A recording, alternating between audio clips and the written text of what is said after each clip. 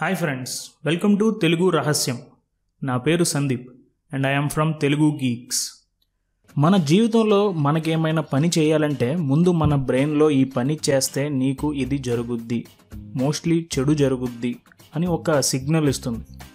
అది అందరికీ చిన్నప్పటి నుంచి స్లోగా పెరుగుతూ వస్తుంది.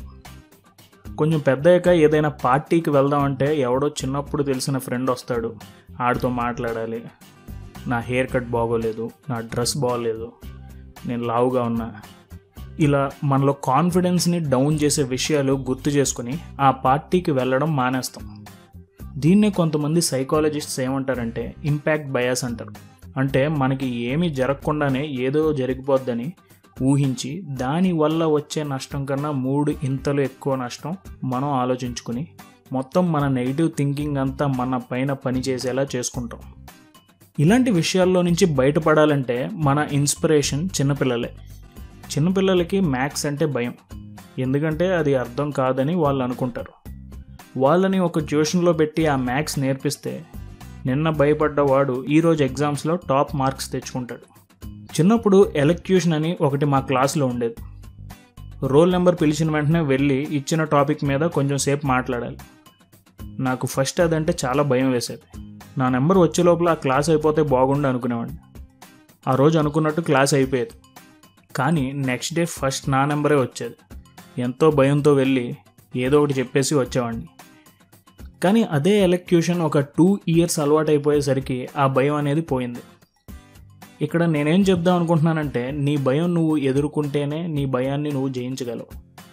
ఇది చాలా సింపుల్ విషయం. నీకు ఏ పని అయితే భయం అనిపిస్తుందో ఆ పని నువ్వు చేస్తే నీకు ఆ భయం ఉండదు. మనకున్న భయం అండ్ సిగ్గు వల్లనే మనం చాలా వరకు గ్రో అవ్వం. షేక్స్పియర్ ఒక మాట చెప్పాడు.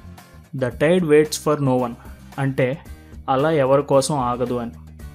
దీనికి ఒక ఎగ్జాంపుల్ ఏంటంటే మన కాలేజీలో లెక్చరర్ ఒక క్వశ్చన్ అడిగినప్పుడు ఆ ఆన్సర్ నీకు తెలిసినా మనకి ఉన్న సిగ్గు ఆర్ భయం వల్లనో లేచి చెప్పం. కానీ ఈలోపు ఇంకొకటి లేచి చెప్పేస్తాడు. ఆ మూమెంట్లో మనం యాక్ట్ చేయకపోతే ఇంకెవరో ఆ మూమెంట్ని సీజ్ చేస్తారు. ఇలాంటి భయమే ప్రపంచంలోనే ధనవంతుడైన వారన్ బఫెట్ కూడా ఉండేది. వారన్ కుర్రోడుగా ఉన్నప్పుడు పబ్లిక్ స్పీకింగ్ అంటే చాలా భయం. ఆ భయాన్ని ఎలా అయినా ఓడించాలని ఒక క్లాస్లో జాయిన్ అవడానికి డబ్బులు కట్టేశాడు. కానీ ఆ క్లాస్కి వెళ్ళటానికి కూడా వారన్ బఫెట్ భయపడి వెళ్ళలేదు.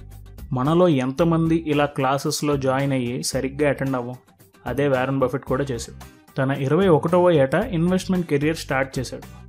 ఈ జాబ్లో వారన్కి మాటలు చెప్పటం బాగా రావాలి. ఇంకా చేసేదేమీ లేక పబ్లిక్ స్పీకింగ్ కోర్సులో మళ్ళీ జాయిన్ అయ్యాడు. ఈసారి అన్ని క్లాసెస్ అటెండ్ అయ్యాడు. క్లాస్లో పేరు అడిగితే చెప్పడానికే భయపడే వారన్ బఫెట్ ఇప్పుడు ఎంతసేపు అయినా మాట్లాడగలడు. ఇప్పుడు తన కంపెనీ యాన్యువల్ షేర్ హోల్డర్స్ మీట్లో Warren Buffett special attraction.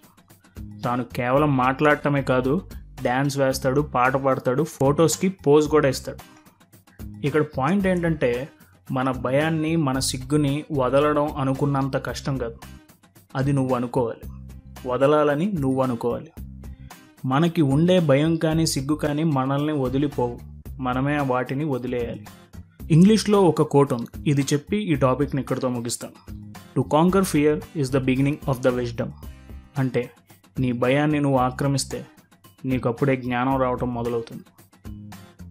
Friends మీకు ఈ వీడియో నచ్చితే లైక్ చేయండి కుదిరితే షేర్ చేయండి. ఇలాంటి వీడియోస్ ఇంకా చూడాలనుకుంటే తెలుగు గీక్స్ ఛానల్కి సబ్స్క్రైబ్ అవ్వండి. నాకు ఈ ఛాన్స్ ఇచ్చిన తెలుగు రహస్యం ఛానల్కి థ్యాంక్స్ చెప్తూ ఇంకా తెలుగు రహస్యంకి సబ్స్క్రైబ్ అవ్వకపోతే ఇప్పుడే సబ్స్క్రైబ్ అవ్వండి. Thank you. జై హింద్.